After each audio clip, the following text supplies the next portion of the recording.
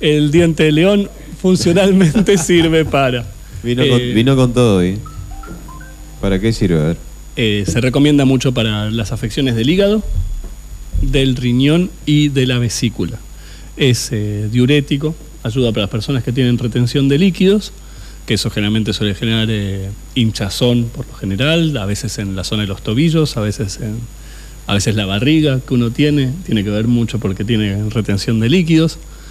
Y también eh, sirve para, eh, se usa asociado con la ortiga, por ejemplo, para tratar la diabetes. Y es un depurativo general, de, te dicen que, entre comillas, que limpia la sangre. Sirve mucho para desintoxicarse. Cuando a veces sea por una muy mala alimentación, por que uno comió algo en mal estado, que le hace mal, o por algún, o por exceso de tóxicos como por ejemplo cuando uno tiene resaca, se recomienda mucho el, el diente de león también, para recuperarse.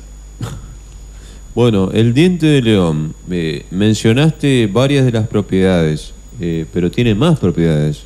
Sí, vos sabés, Marce, que cuando hoy pensaba, cuando estaba leyendo, repasando sobre el diente de león, cuando nosotros íbamos a abrir el negocio, que yo me puse a leer varios libros de, de medicina natural y sobre plantas, y iba marcando, como que hay que ir pensando cómo uno empieza un negocio, qué cosas, qué productos adquiere primero, ¿no?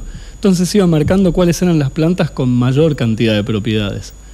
Y entre esas eh, estaba el diente de león, porque uno veía para tal enfermedad y siempre diente de león, para tal otra diente de león.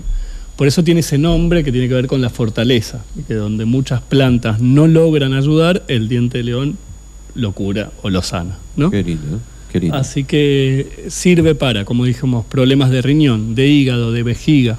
Se receta en anorexia, se receta en estreñimiento. Aporta mucho potasio y minerales como el calcio. Sirve para problemas de vaso, para pulmonía, para diabetes, para cálculos biliares. Renueva la sangre y fortalece la- el organismo en general. Ah, escucha, eh, más que completo. Sí. Es impresionante.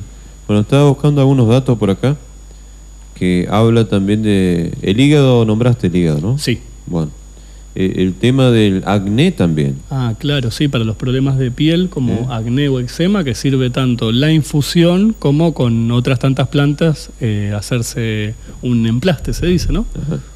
Se recomienda mucho también cuando se consigue la planta, que por eso traje varias ilustraciones para ver si se puede reconocer. Eh, muchas personas utilizan las hojas en ensalada, comiéndolas fresca, y que eso aporta mucho a la salud también. Bueno, ¿cómo viene el diente? Viene... o sea, no viene un diente de león, así que te... No, no, no, no, no, eso tiene que ver más con la forma de las hojas, que es medio dentada, ¿viste? Ajá. No, viene seco, viene la planta entera, o sea, incluye la raíz, el tallo, las hojas y las flores, porque todos sus componentes son sanadores. Y viene fraccionado en pequeños paquetes de 25 pesos, creo. Ajá. 25 pesos.